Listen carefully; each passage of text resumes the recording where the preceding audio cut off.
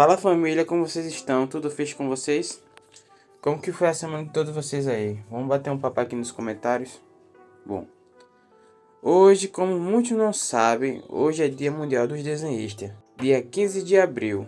É, viva para todos nós que amamos essa arte. Fui fazer uma pesquisa e descobri que ela é a terceira arte que surgiu, tanto para pintura ou desenho, que é a mesma coisa, né? Eu não sabia disso, imaginava que uma tinha vindo antes da outra. Mas isso já é uma curiosidade explicada para vocês, e já vale o like, né? Bom, como de praxe, eu nunca consigo fazer algo a tempo, bem bolado, planejado com antecedência para datas como essas, né? Bom, eu consegui fazer esse desenho aqui do, do pai do Goku, o Bardock, né, como vocês estão vendo. E parando para olhar, é um desenho bem simples, na, na real, né? Eu não peguei algo pouco complicado assim, né? Tem que fazer em dois dias esse desenho. Bom, eu vou dizer aqui as cores e os lápis que eu usei nesse desenho. Eu usei os lápis da Faber-Castell, né? A linha escolar, a caixa de 48 cores.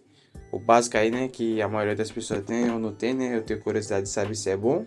Para a base, a base da pele eu usei o tom de areia nela toda, praticamente nela todinha, né?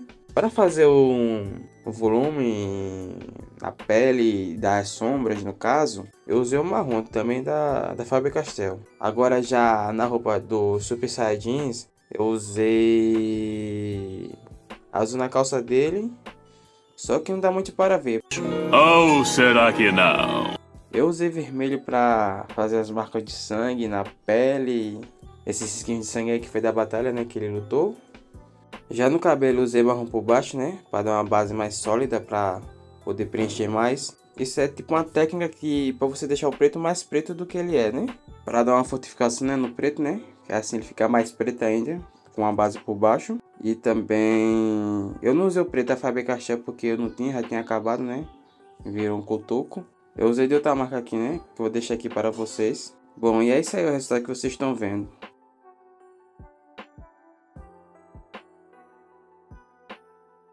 Espero que todos vocês tenham gostado, né, do, do vídeo aí. E também, se você for novo no canal, não se esqueça de se inscrever no canal e deixar seu like, comentar o que você achou, né?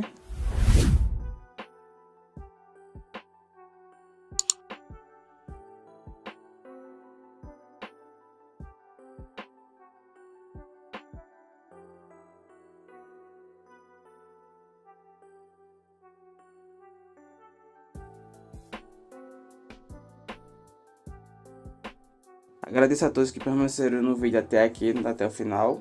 E bom, não desista dos seus sonhos. E até a próxima família. Falou!